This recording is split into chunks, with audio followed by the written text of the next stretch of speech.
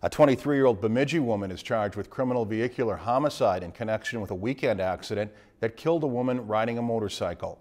Authorities say Victoria Whitefeather was intoxicated when she crossed the center line with her SUV and hit the motorcycle. 52-year-old Tracy Childs was on a passenger on the motorcycle and died from injuries suffered in the crash.